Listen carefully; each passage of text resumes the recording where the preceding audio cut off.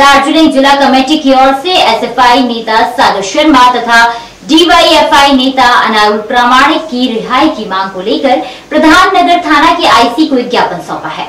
SFI नेता सागर शर्मा तथा DYFI नेता अनारुल प्रामाणिक गिरफ्तारी के बाद अब तक उन्हें रिहा नहीं किया गया है।